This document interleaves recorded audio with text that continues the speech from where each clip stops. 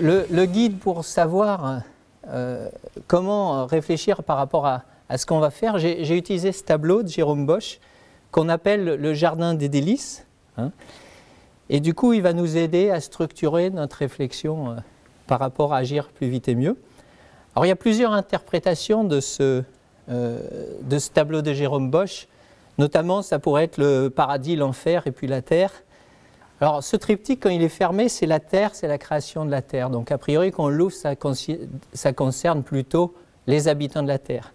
Et donc, il y a une deuxième lecture, hein, plus humaniste peut-être, qui est de dire que finalement, l'enfer, ce n'est pas l'enfer plus tard, c'est l'enfer possible sur terre. Et puis, le jardin des délices, le jardin des délices, ça fait référence, alors on est à la fin du, Moyen Âge, ça fait référence euh, à l'âge d'or des Grecs. Et donc cet âge d'or, c'est l'âge où, l'homme n'était pas séparé des dieux et tout était en abondance. Et cet âge d'or, euh, au XVIe siècle, pour les humanistes, on doit pouvoir peut-être y revenir. Et donc sur le tableau, vous voyez Ève, vous voyez deux parties, une partie dans le paradis, puis elle est en bas dans les petits personnages. Et c'est avant qu'elle croque la pomme. Donc avant qu'elle croque la pomme, il y avait une espèce de paradis et peut-être on peut y revenir. Donc pour vous rappeler un petit peu l'époque, euh, ce tableau, il est de 1503. En 1511, Erasme, qui est un ami de Bosch, hein, le prince des humanistes, et il écrit L'éloge de la folie. Et là, vous pouvez le lire, c'est extraordinaire, une critique radicale des puissants. Et puis vous avez, euh, après, vous avez en 1517 Luther qui affiche sa lutte contre les indulgences, et c'est le début du protestantisme. Puis après, 1560, vous avez les guerres de religion. Mais dès 1520, il y a des persécutions qui commencent. Ça va nous aider à structurer notre raisonnement. Agir vite et mieux. Alors est-ce qu'on a déjà agi depuis 30 ans? Parce que si c'est fait, il n'y a plus besoin d'en parler. Et donc la question, bah, c'est la question traditionnelle du développement durable. Et puis vous voyez le petit cadran vert, bah, il faut être dans ce cadran pour être dans le développement durable. Et du coup, en abscisse, vous avez l'indice de développement humain. Et ça, c'est un indicateur qui existe pour tous les pays où on va tenir compte de la longévité, mais aussi de l'accès à la santé des populations, mais aussi de l'accès à l'éducation. Alors donc là, il faut être au-dessus d'un certain niveau, 0,68. Et puis pour que ça se passe bien, il faut aussi pas consommer plus par habitant que ce que la terre, que la nature nous donne et nous offre. Hein. et donc ça, c'est cette question de l'empreinte écologique par personne. Alors, pour que ça se passe bien, il faudrait être, pour que ce soit durable, il faudrait être dans ce carré vert. Et qu'est-ce qui se passe? Alors regardons par exemple pour la Chine, ben, elle est passée de 1980, les gens vivaient pas bien, hein, l'indice développement humain 0,4, et puis vous voyez en 2008, ils ont progressé. Alors ils sont quasiment dans le cadran du développement durable. Ça veut dire qu'ils ne consomment pas plus d'une planète que ce qu'une planète peut nous donner, et puis ils vivent relativement bien. Alors euh, ça c'est 2008, mais depuis ça a continué. Alors comment ça continue en général pour tous les pays qui se développent? Ben, Ça continue comme ça, comme Hong Kong. Hong Kong en 80, euh, ils vivaient déjà bien, ils, ils utilisaient qu'une planète, mais en 2008, ben, ils vivent beaucoup mieux, mais il leur faut euh, deux planètes et demie. Alors évidemment vous allez me dire comment on peut consommer deux planètes et demie? Ben, C'est pas dur parce qu'il y a des flux que vous offre la nature, puis il y a les stocks. Alors, si vous allez les flux au-delà de ce que peut vous donner la nature, ben vous prélevez dans les stocks, comme une nappe phréatique. Hein, à Pékin, ils consomment plus d'eau que la nature leur en fournit, donc les nappes phréatiques baissent. Et là, ils forent à 2 km. Donc voilà comment on peut euh, consommer plus que ce que la nature offre. Et voilà les États-Unis. Les États-Unis, euh, c'est cinq planètes. Alors ils promettent avec la COP21 de revenir dans le développement durable, mais sans négocier leur confort de vie. Ça veut dire qu'ils voudraient tomber, faire une ligne droite pour tomber dans le cadran du développement durable. Et ça, ce serait avec la seule technologie. Alors si on regarde, ça date de quand ces problèmes Ces problèmes, ils sont vieux, parce qu'ils datent de 1970. Dès 1970, on a une courbe, alors qui, qui se croise la courbe verte se croise avec la courbe rose. La courbe verte, c'est ce que peut fournir la nature par habitant. Alors, on peut avoir de moins en moins d'hectares par habitant parce qu'on est de plus en plus nombreux, tout simplement.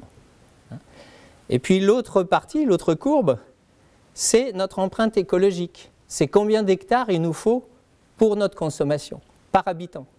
Alors évidemment, quand on multipliera par le nombre d'habitants, ça fait qu'il faut beaucoup plus d'hectares hein, aujourd'hui. Mais par habitant, on a réussi à faire stagner. Et la différence, c'est le dépassement écologique. Et le dépassement écologique, ça veut dire qu'on va aller taper dans les stocks. Alors ça, c'est depuis 1972. Et du coup, il y avait déjà eu des alarmes. Hein. en 1972, je vous avais parlé du, rapport Meadows. Donc, halte à la croissance, limits to growth, en fait, qui est une mauvaise traduction en français de ça. Et du coup, qu'est-ce qu'il nous disait en 1972 Il nous disait, bah oui, faites attention, si, vous continuez, si on continue tous sur la planète le business comme on fait, c'est-à-dire sans rien changer de nos comportements, bah voilà le scénario central qui peut arriver. Et dans son scénario central, il y avait euh, la production industrielle qui commençait à décliner à partir de 2020, mais les ressources commençaient à décliner bien avant. Hein. Et puis vous aviez la population qui va commencer à décliner à partir de 2040-2050. Euh, Et à partir de 2040-2050 aussi, la nourriture disponible va diminuer. Donc ça, c'était un scénario central où il disait attention, il faut bouger, il faut changer. Alors Denis Mido, il, vit toujours, hein, il est toujours au MIT, et sa dernière conférence en 2014, du coup, lui, ce qu'il dit, c'est qu'il est trop tard pour faire du développement durable. Donc développement durable, ce serait réatteindre un point de stabilité quelconque. Et donc, ce qu'il dit, c'est qu'on n'ira pas vers un point de stabilité. Alors évidemment, c'est difficile. C'est difficile parce qu'il y a des pièges dans la société. Et celui qui a bien décrit ça, c'est Jacques Ellul. Il a décrit que la société technicienne, basée sur la technique, était autopropulsive dans son langage. Ça veut dire que ce n'est pas les hommes qui décident ni de l'arrêter, ni de la contrôler. Et donc lui, il a fait une critique en 1952, hein, une critique assez radicale en disant, voilà, c'est la technique qui nous gouvernera, et les hommes n'arriveront plus à la contrôler. Il y a un système bureaucratique qui se met en place dans un système très complexe. Et lui, ce qu'il analysait, c'est qu'il y avait disparition du vouloir, du fait que les, gens hein, veuillent changer le monde, veuillent faire quelque chose, et de l'action du monde. Ce n'est pas eux qui font. On leur dit de faire et ils font. voilà, par rapport à cette critique radicale, pour pas qu'elle existe, pour agir, à ce moment-là, il faut faire réapparaître le vouloir et le faire. Et du coup, je vous propose trois axes de, vision d'action. Le premier axe, c'est lutter. Or, lutter, lutter c'est au niveau global, c'est au niveau mondial, et donc c'est la partie, euh, c'est la partie de l'enfer du tableau. Hein. L'enfer du tableau, c'est la cité des hommes qui est en feu. C'est la cité des hommes, et en bas, on voit, c'est le jeu, c'est différents problèmes de gestion des hommes qui fait que ça ne va pas. Donc il faut lutter.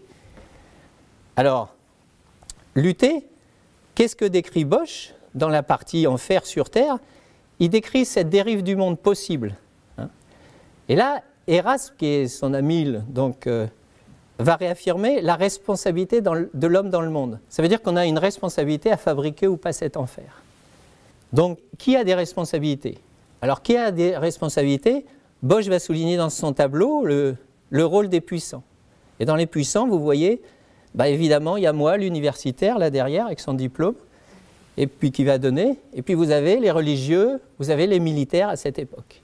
Et donc cette critique par le tableau, elle est reprise de façon radicale dans le petit livre d'Erasme, L'éloge de la folie, qui est un petit livre très agréable à lire, hein, et très vivant, très moderne. On croit que ça a été écrit pour aujourd'hui, pour les questions d'aujourd'hui. Alors du coup, dans ce cadre-là, il y a effectivement une option, c'est de participer finalement à, créer cet enfer. Et donc cette question de euh, tirer son épingle du jeu à tout prix, et donc c'est ce que j'appelle un peu le syndrome du Titanic.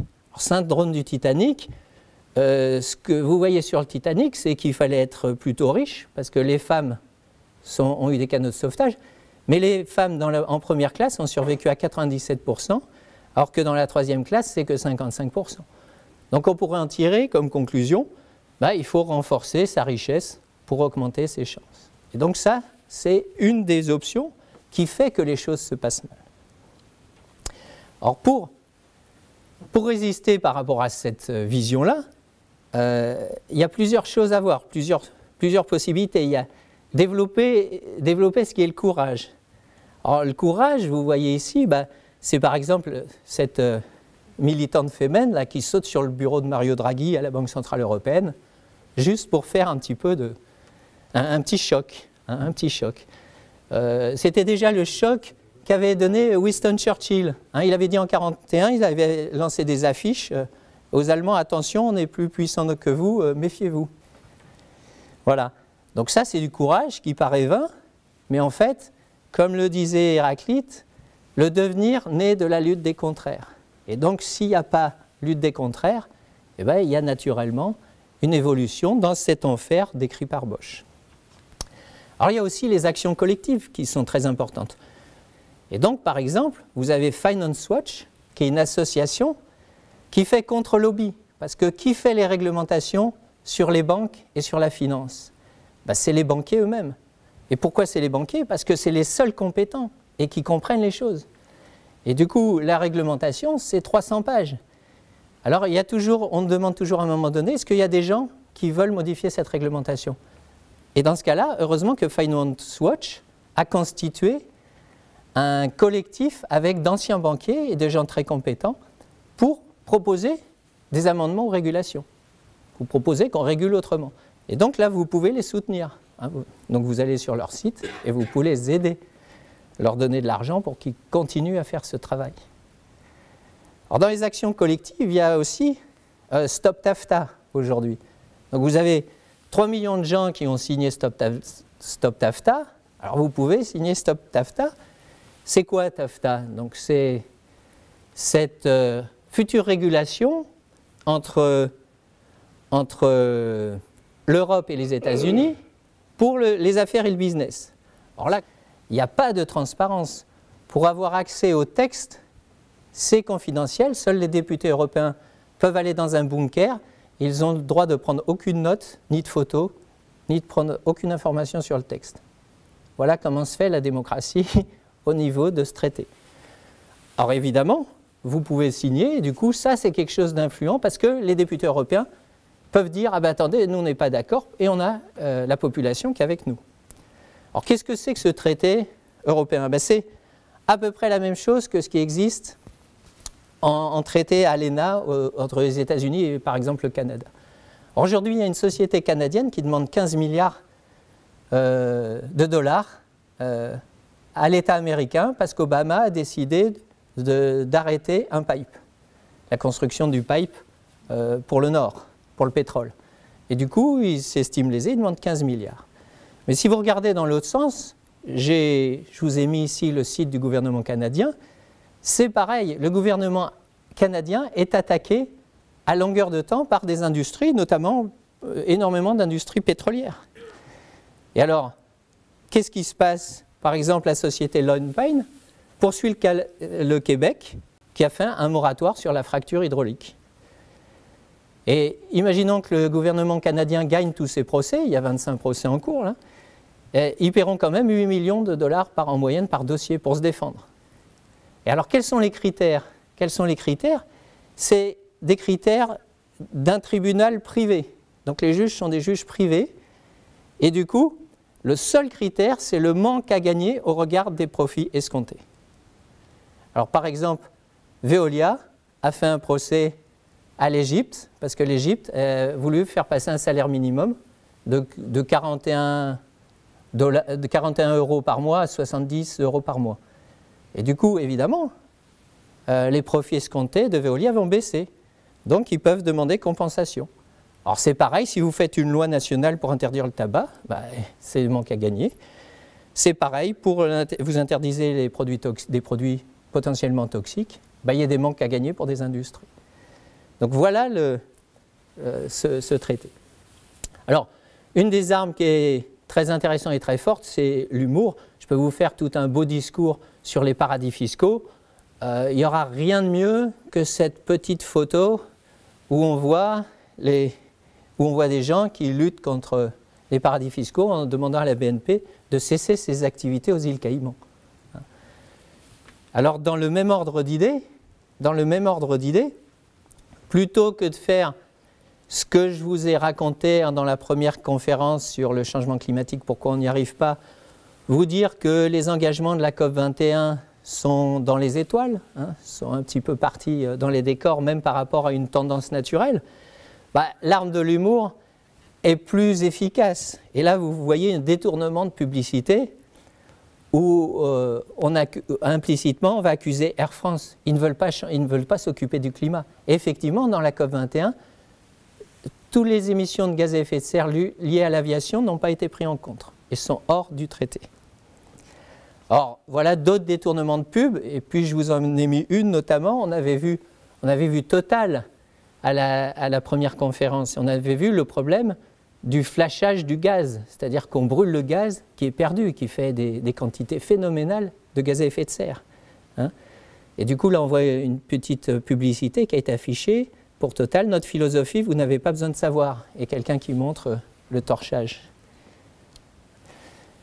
Donc voilà les actions. Et puis, comme action, la transparence, la finance dérégulée, bah, vous, aviez, un vote qui a eu lieu pour, essayer de limiter l'évasion fiscale des entreprises. Mais le, finalement, on a, voté la limitation. Et ce qu'a fait le, euh, ministre Eckert, c'est qu'il a fait voter tout de suite derrière. Et puis il a négocié avec les députés pour qu'ils changent d'avis.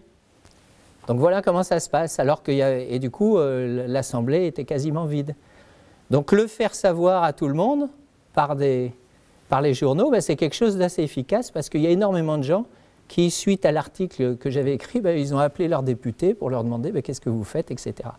Donc intervenir sur ce que font les députés, c'est quelque chose de fondamental. Alors si on lutte, c'est bien, mais quand on lutte, on s'épuise. Hein, c'est clair qu'on ne va pas passer notre vie à lutter. Et du coup, il y a un deuxième axe, c'est comme sur le triptyque. Il n'y a pas que l'enfer, c'est sûr qu'il faut lutter. Mais si on n'essaye pas de construire ensemble ce qui serait notre monde plus agréable et notre petit paradis autour de nous, ben, ce n'est pas la peine. C'est voué à l'échec. Et donc là, construire ensemble, c'est plus un niveau local. Là, j'ai repris euh, euh, la COP 21 pour Grenoble, hein, la, fiche de publicité. Et puis vous voyez des extraits du tableau. Donc construire ensemble, vous voyez que c'est des petits mondes. Alors évidemment, euh, il y a la chouette là au milieu. Alors la chouette, c'est référence à la sagesse hein, chez les Grecs. Et donc cette question de construire ensemble, c'est la deuxième question aussi importante que lutter.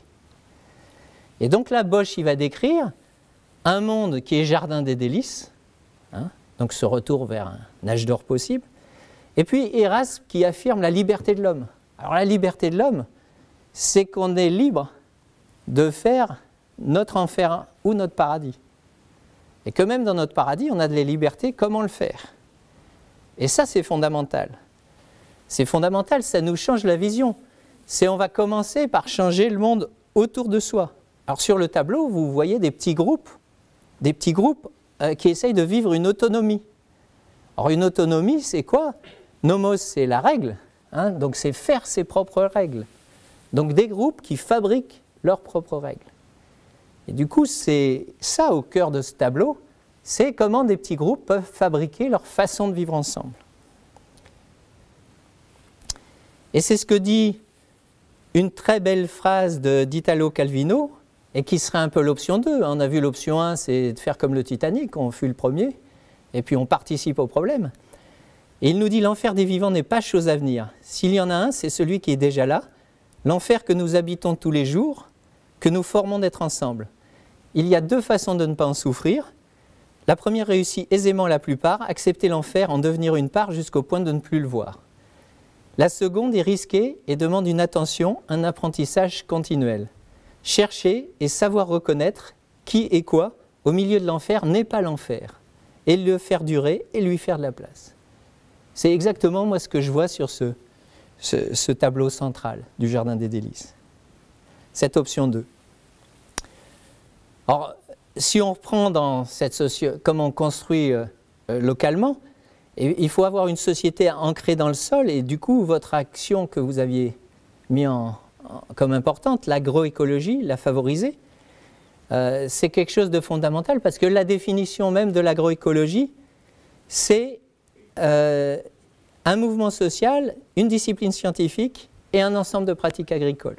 Avec comme objectif, et là c'est étonnant, que ça puisse bénéficier aussi aux plus démunis, aux plus démunis des agriculteurs, et confrontés à des conditions difficiles, et c'est ce qui est devant nous, des conditions plus difficiles pour l'agriculture. Et du coup, dans ces actions, il y avait protéger le bien commun, consommer local, opter pour un régime semi-carné. Ben vous, aviez, vous avez des possibilités autour de vous. Vous avez les AMAP, hein, qui favorisent l'agriculture locale. Et puis vous avez Terre de Liens, qui, fait, qui va protéger nos biens communs, qui sont les terres. Donc, racheter, racheter des terres pour les mettre en location à des paysans qui voudront faire de l'agroécologie, par exemple. Et ça, c'est racheter avec quel argent? Ben Avec le vôtre. Terre de Liens, c'est l'intermédiaire qui vous permet que vous, vous achetiez des parts de ferme. Donc voilà des actions concrètes dans ce sens-là. Alors, une autre chose importante, c'est favoriser une société de la transparence et de la connaissance. Hein. Et donc ça, ça passe par, un, par le dialogue. Dialogue dialoguer, c'est pas parler pour ne rien dire, mais c'est parler pour faire. C'est-à-dire l'objectif, c'est on essaye de partager des choses communes, comme on fait aujourd'hui, pour après pouvoir agir sur le monde, ou sur un petit bout du monde, hein, sur notre petit coin. Comme dans le tableau d'hélice, on forme un petit coin, on forme un petit monde. Alors là, je rajoute un peu ce qu'on avait pratiqué dans les deux premières conférences. Ça passe aussi, si on ne veut pas se heurter de façon idéologique, par pratiquer des enquêtes, voir ce qu'il en est concrètement. Et puis après, trouver des endroits où on prend sa place et où on, on peut faire des décisions collectives. Ça, c'est l'objectif. C'est comment collectivement, après, on va décider ben, comment on a envie de continuer les choses. Par exemple, pour exiger la transparence, euh, je vous mets un petit exemple. Un site sur un tout petit village dans les Hautes-Alpes de 300 habitants. Et dans ce petit village, ben, oh, on a fait un site de transparence. Et qu'est-ce que c'est que ce site de transparence? Ça va donner ce qu'il en est sur le PLU, plan local d'urbanisme, et quelles sont les positions des différents citoyens sur cet avenir du PLU. Qu'est-ce qu'il faudrait faire? Alors, l'intérêt, de cette transparence, c'est que ça va permettre, par exemple, ça va permettre d'éviter l'objectif qui était par exemple l'objectif du, seul maire, par exemple, qui était que toute la petite plaine que vous avez vue soit construite, c'est-à-dire euh, par 5 le nombre d'habitants alors que si ça se peut, il n'y avait pas assez d'eau. Et donc ça, c'est aussi euh, protéger nos biens communs. C'est éviter que toutes nos terres agricoles se, transforment en terres construites. Alors pour ça, c'est là où il y a un lien toujours avec le global. Vous avez des associations. Vous avez par exemple l'association Anticorps qui est bien pratique parce qu'elle vous permet de savoir qu'est-ce qui est légal, qu'est-ce qui n'est pas légal et comment déposer plainte s'il y a besoin de déposer plainte. Parce que très souvent, des choses illégales se font, mais si personne ne si personne dit rien, ben ça se fait. Voilà, ça se fait. Et donc, Anticorps, c'est une association qui essaye d'aider les gens localement qui, vont poser des questions et qui vont exiger cette transparence sur ce qu'on fait de nos terres et comment on gère euh, l'avenir. Alors si on veut que notre société euh, locale et globale euh, soit harmonieuse, comme on fabrique des outils tout le temps, il y a une chose très intéressante, c'est d'essayer de vérifier que les outils qu'on fabrique sont conviviaux. Et qu'est-ce que c'est qu'un outil convivial? Alors la meilleure définition que j'ai trouvée, c'est celle d'Ivan Illich, hein, 1970, hein, les années 70. Donc le premier point, c'est pas dégrader l'autonomie personnelle en se rendant indispensable. Donc il faut qu'on garde notre autonomie, même si on nous supprime l'outil. Il faut que l'introduction de cet outil ne suscite ni esclave ni maître, que ça ne va pas euh, scinder la société entre certains qui dirigeraient d'autres, donc il n'y aurait plus d'autonomie pour certains. Et aussi, ce qu'Amartya Sen, le prix Nobel d'économie, a repris sous terme de capacité, élargir le rayon d'action personnelle, que ça vous permette de faire plus de choses. Alors ça, c'est des critères qui, sont intéressants pour voir si un outil est convivial. Et par exemple, comme outil convivial, ben, je vous présente un système d'échange local. Alors c'est dans le même, dans un petit coin des Hautes-Alpes aussi, un système qui va permettre l'échange entre les gens. Alors vous voyez, il y en a qui vont échanger mes belles confitures, l'autre un soutien en anglais, l'autre qui a un jardin potager à partager. Et donc ça, on retrouvera tous les critères de l'outil convivial. Et cet outil il a été créé grâce à Community Forge qui, qui donne gratuitement ce logiciel hein, contre deux heures de travail. Voilà. Donc c'est un système euh, collaboratif. Donc voilà un outil convivial possible. Alors on voit les systèmes d'échange local, on voit aussi les monnaies locales hein, qui vont permettre euh, l'autonomie. Alors les monnaies locales, il y en a beaucoup qui se développent actuellement en Grèce, il y en a certaines qui se développent en France, il y, a un projet à Grenoble. Euh, donc c'est quelque chose qui se développe euh, assez fortement et on ne peut pas dire que c'est marginal parce que si vous regardez le VIR, le VIR c'est nous en allemand, hein, et qu'est-ce qui s'est passé? C'est après la crise de 29, effondrement des exportations. Alors qu'est-ce qu'ont décidé les producteurs, les, enfin, les industriels locaux hein ils ont, décidé de faire une chose simple, c'est de se vendre entre eux déjà leurs produits, au lieu d'aller les chercher à l'extérieur. Donc ils ont créé une monnaie pour, fabriquer, pour faire ça. Et cette monnaie qui s'appelle le VIR, créée en 1934, elle existe toujours aujourd'hui, et il y a une banque qui, il y a une banque qui l'a fait vivre, et en fait, ce n'est pas anecdotique. Il y a un milliard d'euros d'échanges par an. Donc vous voyez, ça peut être quelque chose de colossal ou quelque chose de plus petit. Vous avez aussi quelque chose pour que euh, ce jardin des délices puisse exister, qu'on forme des petites communautés, c'est justement de garder des sociétés à mesure de l'homme. Hein, pour faire cette autonomie, comment vous voulez qu'on vive chacun un peu suivant nos règles si on fait des sociétés trop grandes? Alors quelle est la question? C'est que quand il y a des petites communautés, euh, il y a des moyens, bon c'est les outils, c'est des indicateurs que vous pouvez mettre en place, et puis vous avez des finalités qui sont relativement claires, qui, sont souvent implicitement le bien vivre ensemble. Et quand vous avez des méga-systèmes qui se construisent, le grand danger, c'est qu'on risque d'inverser les moyens et les fins. En gros, que les indicateurs, qui sont que des moyens, finissent par devenir les objectifs. Alors ça, je ne sais pas si vous le vivez vous, mais moi, je le vis dans ma vie quotidienne, hein, au travail. Alors, il y a quelqu'un qui a écrit, un économiste qui a écrit Small is Beautiful, un livre très intéressant, et il conclut sur une, ouverture étonnante. Il dit partout on demande que puis-je réellement faire? Et il conclut la réponse est aussi simple que déconcertante. Nous pouvons chacun d'entre nous travailler à faire régner l'ordre en nous-mêmes. Alors cette, cette question, eh, du coup, elle, elle m'a travaillé. Effectivement, on avait vu il faut un lutter, il faut deux construire ensemble, mais il manque quelque chose. Comment voulez qu'on construise ensemble si on ne commence pas par se construire soi-même? Donc le troisième point, ça va être se construire soi-même. Et se construire soi-même, on voit dans le tableau des délices, du jardin des délices, ben on voit la chouette, c'est la sagesse. Et on voit hein, quelqu'un qui embrasse euh, la chouette. Donc cette question de se construire, c'est notre dernière question, notre dernière grille de lecture. Et du coup, pour se construire, il faut déjà savoir se poser des questions. Si on ne se pose jamais de questions, on est sûr qu'on n'aura pas de réponse on aura celles qui nous viendront de l'extérieur, donc qui n'y aura pas d'autonomie. Hein. Et par exemple, comme question intéressante, est-ce que la monnaie est pour moi un outil convivial? Est-ce que quand je l'utilise tous les jours, est-ce que c'est bien qu'elle soit partout? Est-ce que c'est bien qu'il y ait un marché financier pour acheter les reins, les organes, etc. C'est quelque chose qui est débattu. Et du coup, un livre très intéressant que je vous conseille d'un grand philosophe actuellement vivant américain, Michael Sandel, hein, euh, professeur à, Harvard, il a écrit ce que l'argent ne saurait acheter. Et du coup, c'est intéressant de savoir quand on achète des choses, peut-être il y a des domaines où on n'a pas envie que l'argent rentre. Donc se poser ce type de questions. Et puis une deuxième, un deuxième grand problème, c'est la question de l'émancipation. Et là, la Boétie, il a écrit un tout petit livre qui est très, très court, très facile à lire, sur la servitude volontaire. Et là, il montre que, en général, l'homme, et c'est vrai, on préfère, avoir un, on préfère avoir un chef. Le chef, il va nous dire ce qu'il faut faire et on n'a plus besoin de se poser des questions. Donc l'autonomie, c'est quelque chose de difficile, il faut le vouloir. Hein. il faut vouloir, donc il faut choisir d'être autonome. Et du coup, effectivement, parce que mais si on n'est pas autonome, on aura, plus de, moins de chances de construire ces petits groupes dans le jardin des délices.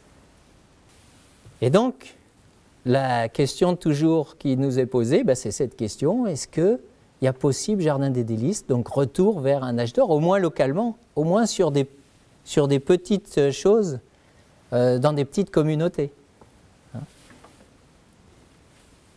Et là, une des, une des réponses, ça a été euh, Jacques Ellul. Jacques Ellul qui a expliqué que la révolution aujourd'hui elle est plus possible, elle est, plus envisageable, pour lui ça n'a plus de sens. Mais il nous dit quand même que si notre société est close, ça veut dire qu'elle est en fait fermée, on a l'impression d'être piégé. Alors lui, c'est la société technicienne, mais il y a plein de raisons qui font qu'on peut penser être piégé. L'histoire ne l'est pas. Et c'est vrai que si vous étiez en France en début 44, jamais vous auriez pensé euh, que vous alliez être libéré euh, euh, quelques mois après. Donc l'histoire, elle n'est jamais close. Hein. et l'histoire, c'est nous qui la fabriquons. Et l'extérieur de l'histoire, moins encore, ça, c'est notre vie personnelle. Du coup, il conclut, pour chacun reste devant lui le vouloir et le faire. Et donc cette question clé, c'est est-ce qu'on veut quelque chose? Et du coup, est-ce qu'on construit ensemble? Alors, ce que m'a appris cet exercice, hein, de faire le tour de, ces questions et trouver cette grille de lecture entre lutter, construire ensemble et se construire, c'est je me dis à la fin que si on construit, on passe son temps à construire sans lutter, c'est voué à la destruction par les autres. Si on fait qu'essayer de construire un petit monde, sans essayer de lutter globalement, bah, ça va être voué à la destruction. Parce que les autres vont construire un monde qui va finalement nous détruire ce qu'on a construit. Et puis le, contraire est vrai. Lutter sans construire, c'est stérile. On ne va pas construire ce petit jardin des délices. On va juste retarder cette histoire d'enfer que nous représentait Bosch.